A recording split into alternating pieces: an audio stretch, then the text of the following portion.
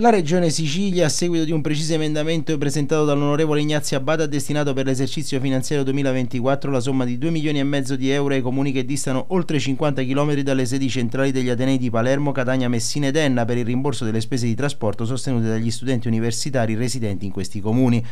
L'assessorato regionale per le autonomie locali e la funzione pubblica, entro 60 giorni dalla data di entrata in vigore della legge, trasferirà le risorse ai comuni in quota proporzionale al numero di abitanti. I comuni a loro volta provvederanno all'erogazione del contributo dopo aver disposto apposito bando. La Commissione Bilancio, della quale l'esponente della DC fa parte, ha votato favorevolmente il provvedimento che riguarderà migliaia di giovani che usano i mezzi pubblici per raggiungere le sedi universitarie di competenza. A partire dall'inizio del 2024 bisognerà conservare i biglietti dei treni o degli autobus che verranno poi presentati al proprio comune di residenza, il quale procederà al rimborso. Qualche anno fa, nel corso del mio secondo mandato da sindaco, commenta l'onorevole Abate, abbiamo sperimentato questo provvedimento con ottimi riscontri, per cui ho deciso di presentare un emendamento che andasse in questa direzione, replicando su scala regionale ciò che era stato fatto nel territorio comunale di Modica. Rimborsare le spese di spostamento vuole essere un incentivo a chi sceglie di non emigrare e rimanere nella propria terra, oltre che un piccolo aiuto economico nei confronti delle famiglie che sono già oberate dalle spese legate alle tasse universitarie, ai libri di testo e a tutto quello che è connesso all'istruzione universitaria.